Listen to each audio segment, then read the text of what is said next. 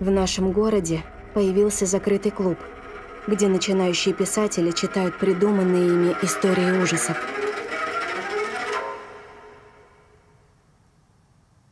Напугай меня! Мы собрались в особенном месте. У него богатая история. Вас отобрали не случайно.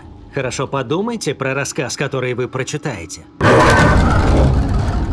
Что за звук? Мы закрыты!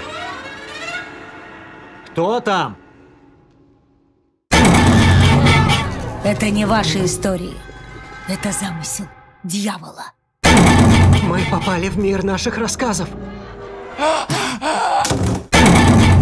Уходите отсюда. Святой отец. Нет, это наши рассказы стали реальностью. Нам нужно изменить финалы. Ты сама это написала, дорогая. Или зло из наших историй уничтожит сначала нас, а потом и весь город.